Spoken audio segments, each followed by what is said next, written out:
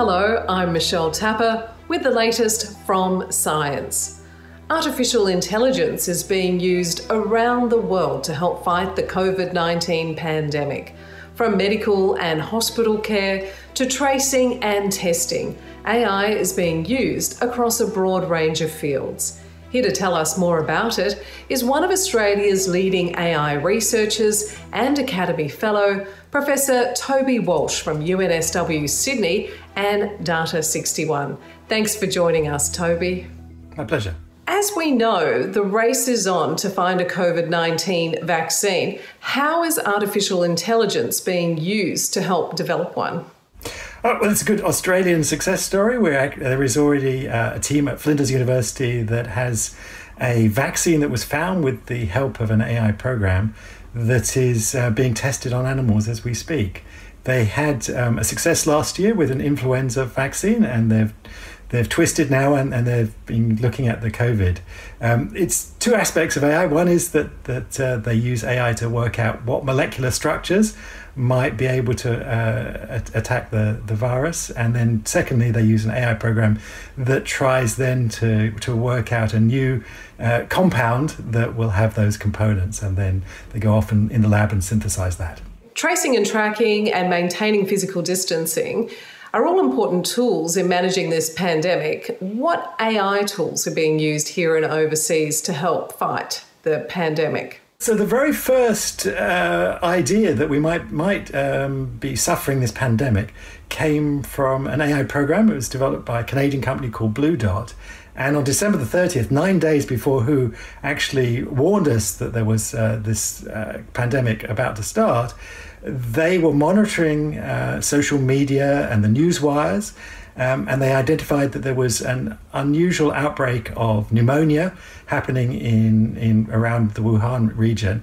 Um, and sent out to their clients a, a warning report um, that was perhaps, possibly, the very first indication that we had. And so, um, those sorts of tools um, certainly, I'm sure, will be used to see if they can spot any um, secondary outbreaks as we start to get on top of the virus. As restrictions are being eased, what artificial intelligence tools are being used to monitor outbreaks here and overseas? I should start by saying this is a little more controversial because uh, we have to be obviously very careful about uh, imposing on people's privacy. But uh, again, there's a, a, team in South Australia that's um, building drones and using computer vision to identify people who might be coughing in a crowd and also reading their temperature using thermal sensors. And therefore, you may be able to identify people who need to, to be uh, monitored. There are certainly a lot of um, in, interesting candidate Bluetooth tools being, being developed around the world. You can get a, a bracelet now um, that will tell you if you've been close to someone else, and you can use that to, to track and trace people, um, like you can with the, the COVID Safe app as well. What sort of AI technology is being used to help medical professionals on the front line? There's a wide variety of uses of AI um, already with on the front line to help deal um, with um, the COVID outbreak, um, from helping the diagnosis. Um, they've already um, they've already developed some tools in China to scan X-rays. To of, of people's lungs to identify the distinctive um, signs of, uh, of the beginnings of pneumonia in people's lungs and could do that uh, quicker, more accurately, and cheaper than human doctors can do. Um, so, starting with the di- diagnosis and then moving on to the treatment, there are AI programs, machine learning programs that have been developed to identify those patients most at risk of having severe symptoms of, uh, of the coronavirus and those patients therefore needing um, the most care and attention um, and to, to, towards um, uh, then uh, the care of those patients um, suggesting uh, AI programs that are being used to suggest um, the best courses of therapy um, for those for those people ending up sadly in ICUs. Is AI being used to help care for people that are contagious or perhaps give them medication so as not to infect medical staff? So there's been very limited use of robots within within hospitals. Um, there there has been some trials of, of, of, using robots so you can actually get um, keep doctors away from from infected patients. Um, the most widely used um, robots in, in Australia in, in hospitals are those actually just dispensing drugs.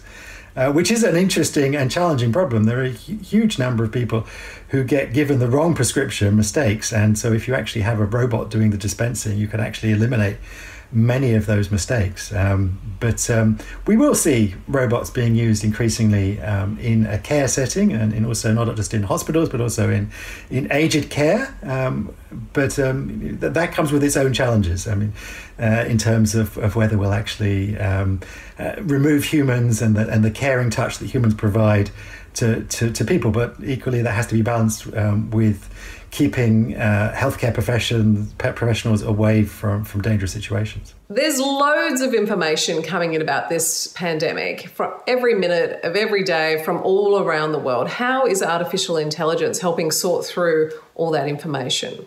I think this is a really good example of how AI is going to change the way that we do science. Um, the in, research into COVID is, is, one of the most active areas of research that we see today, um, and papers are being published around the world. It's actually hard to keep on top of the literature. Um, and so there's been a, a big database um, collected together of all the publications in this area, um, and researchers are starting to use AI tools, data mining tools um, to help mine that data to actually try and work out the, the wood from the trees um, and see if there are interesting ideas that we can find because it's almost impossible to, to keep up and read the papers, let alone do the research on the topic. And so we're using increasingly AI tools to help us keep on top of the scientific literature, in particular, on top of the COVID literature. Um, but we'll see that in, in, in, many other areas moving forwards to, to keep on top of the literature of cancer or whatever. Uh, it's almost impossible. You could spend your whole day just reading papers, um, and so increasingly AI is going to be um, uh, is going to help us speed up the way that we do science, the, the speed that we can do science. How do you think AI research will change or improve as a result of this pandemic? Uh, there's two ways in which, which AI, I think, is going to uh, change as a result of, of this. Uh, first, first of all, uh, there's the big economic disruption that's happening to our lives. Um, and as a response, we come out of this, um, and as businesses um, start to transform themselves into the new economic environment, increasingly they're going to ta- turn to tools like artificial intelligence and automation to to help them become more economic and more viable. Um, and secondly, um, uh, more specifically, uh, we're going to see AI being increasingly used within medicine and healthcare. We see this with, with COVID, but we're going to see this in many other areas that uh, increasingly AI, one of the good applications, one of the best applications, one of the most promising applications for AI will be to actually help us uh, understand uh, our biology, understand um, how healthcare, um, and improve the quality uh, of that. Um, and in, in, an age in which healthcare is ever increasingly expensive, it, it's good to be able to have technologies like this coming along that will allow, allow us to, to offer better and better healthcare to more and more people. These tools can help us more efficiently, more effectively, more cheaply track and trace when people have had the misfortune to have, have caught the virus. But the best cure to, to the problem is not for people to get infected. And the only way we can stop them being infected today, absence of a vaccine, is social distancing. Some great points there about artificial intelligence, and no doubt it's an important tool to help us manage and get through this pandemic. Thanks so much for your time today, Professor Toby Walsh. it's been my pleasure. And don't forget, for regular video updates from the Australian Academy of Science, make sure to follow us on social media. I'm Michelle Tapper. See you soon.